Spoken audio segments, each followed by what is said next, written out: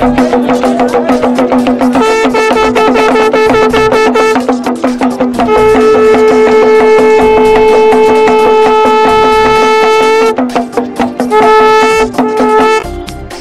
की रेती पर आस्था का महापर्व आरंभ हुआ। पंच दस नाम जूना अखाड़ा, श्री पंच अग्नि अखाड़ा और पंच दस नाम आह्वान अखाड़े की धर्म ध्वजाएँ लहराई।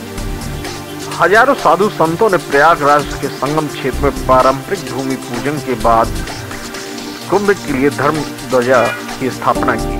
धर्म ध्वजा अखाड़ों की धार्मिक पहचान है, जो दूर से ही दिखाई देती है। इस अवसर पर जूना अखाड़े के साथ ही अग्नि और आवान अखाड़ों ने भी धर्म ध्वजा रोहपड़ और भूमि पूजन किया। इसके बाद धीरे धीरे सनातन धर्म के सभी तेरह अखाड़े बारी बारी से अपने अखाड़ों का भूमि पूजन और धर्म ध्वजा की स्थापना करेंगे। ऐसी मानता है कि सनातन धर्म की रक्षा के लिए आदि शंकराचार्य ने इन अखाड़ों की स्थापना की थी। अखिल भारतीय अखाड़ा परिषद के महामंत्री महंत हरिगिरी के मुताबिक भूमि पूजन और धर्म ध्वजा कुंभ की भूमि की स्थापित करने के पीछे पुरानी मान्यता है। कुंभ क्षेत्र में जाने के बाद हम सबसे पहले भूमि पूजन करके धर्म ध्वजा लगाते हैं। ध्वजा का जो दंड होता है, वो बावन हाथ का होता है, जिसमें जनेऊ के बावन गाठे होती हैं, जो प्रतीक होती हैं, अखाड़ों की बावन मड़ियों की। आज जो है, जैसे धर्म ध्वजा, खाली ध्वजा नहीं है, ये धर्म ध्वजा है, जिसको पहले से प्राचीन काल से हमारा एक जो है परंपरा का अंग रहा। इसके पीछे ध्वजा के पीछे, चाहे वो राजा हो, महाराजा हो, धर्माचारी हो, जो भी है ध्वजा के बगैर कोई कार्य करते नहीं है। ध्वजा में देवताओं का आह्वान किया जाता है कि सारे देवता ऊपर से देखते रहें और लोगों की जो भी यात्री आते हैं, उनकी सबकी मनोकामनाएँ पूरी हों। स्वस्थ रहें प्रसन्नचित रहें, उनकी सभी मनोकामनाएँ पूरी हों। साधु संतों में आप जानते हैं कि घर में तीन आदमी संभालना भारी है और हम लोग लाखों की तादाद में टब्बर को संभालना है। तो ये सदबुद्धि, सदविचार, और इनकी उदारता से ही संभाला जा सकता है। इसलिए ये समूह के साथ इतना लोग रहते हैं, किसी को पेंशन नहीं मिलती है, किसी को तनख्वाह नहीं मिला जाता है, किसी वर्कर को कोई पैसा नहीं दिया जाता है। ध्वजा का अर्थ है बावन फीट ऊँचा होता है। अरे, बावन हाथ बावन हाथ ऊँचा होता है, बावन के तनी होती है। तनी का अर्थ है ध्वजा का अर्थ है कि ये समझिए धार्मिक धर्म ध्वजा।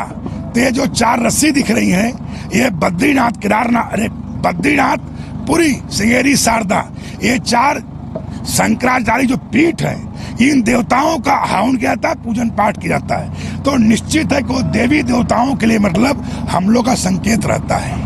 चार धामों का पूजन होता है। ऐसा है कि प्राचीन परंपरा ही रही है कि पहले पृथ्वी पूजन होता है, देवताओं का पूजन होता है, गुरु का हवन होता है, और गुरु के बाद फिर ये ध्वजा खड़ी की जाती है। अब इसके बाद साधु संत यहाँ भोजन बना सकते हैं, खा सकते हैं, टेंट लगा सकते हैं, अब पेशवाई में आने के बाद तो यहाँ रहेंगे परमानेंट अस्थायी रूप से। संकेत है कि सरकार मूलभूत सुविधाओं की तरफ़ चिंता करे। इसके साथ साथ कुछ और भी है। ऐसे धर्म ध्वजा खड़ी होनी है। इस तारीख को पूजन होना है कि जो मूलभूत सुविधाएँ है, सरकार समय के साथ संपन्न करे। मेला शुरू होने के पहले।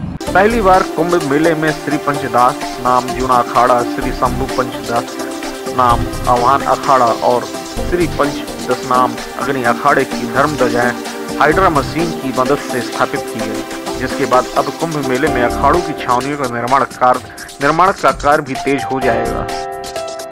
छावनियों के निर्माण के बाद अखाड़ों की ओर से पेशवाई निकाली जाएगी जिस, जिसके बाद ही पेशवाई स्थलों से छावनियों में अखाड़े हाथी घोड़े और रथों पर सवार होकर शाही जुलूस के साथ प्रवेश करेंगे। धर्म ध्वजा की स्थापना के बाद अब नागा साधु इस धर्म ध्वजा की रक्षा कुंभ छावनी में करेंगे। खबर जगत 24 न्यूज़ प्रयागराज से पंकज यादव की रिपोर्ट।